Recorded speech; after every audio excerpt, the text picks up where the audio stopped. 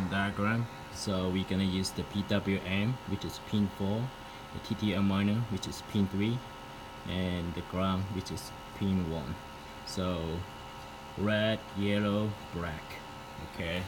And then we have this type of uh, power supply NYGG 40 watts okay?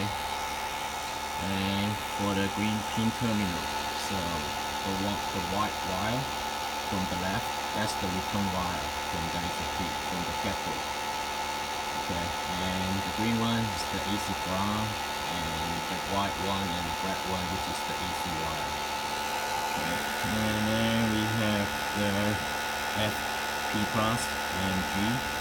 Yeah, if you have a water sensor you're gonna connect it here otherwise just short it out okay K minus K plus um, you don't need to connect anything to it just leave it open.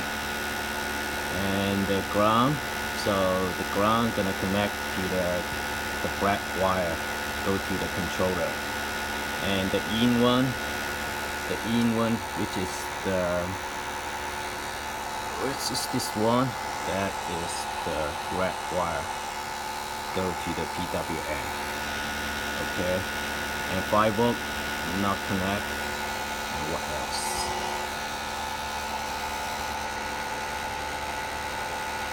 okay that's it. And um, here. So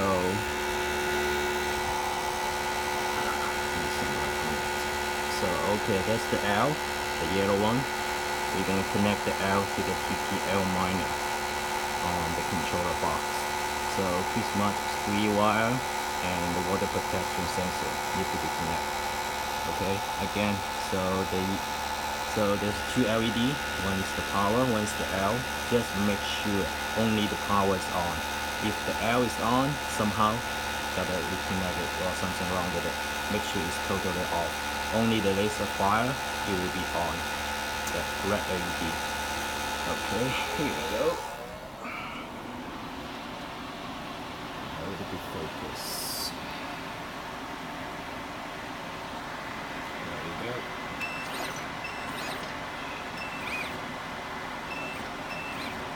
I'm gonna hit a laser here. Uh, so the so the laser button only associate with the power setting here. It has nothing to do with the power setting in the software. Let's make sure the laser button the laser button here only associate with the power setting here for you to test by the laser okay I set it up to 80 percent. Okay I'm gonna hit it. Okay as you can see it's on. Hit on it.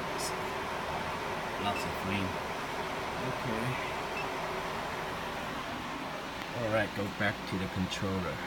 Okay inside the box the 20 by 20 millimeter and the power 20% power 10 millimeter per second. I'm gonna download this. Okay just hit download. Okay. So the file got transferred here. Okay. I'm gonna hit this to start the job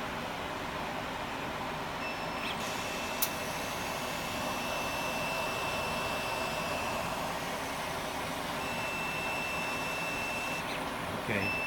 Color box in case you don't see the power setting okay do it again. So it's 10 millimeter per second 20 percent power right?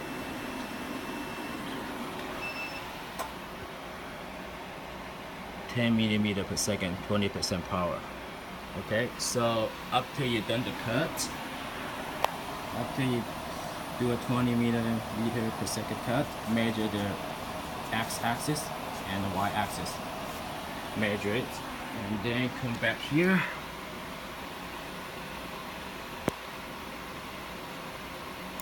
Okay, we're gonna go to factory parameter setting.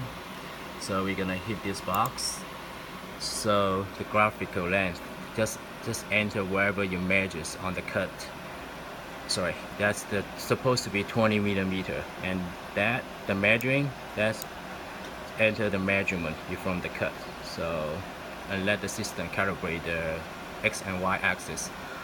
Okay I think that should get you get started. So let me know if you have any problem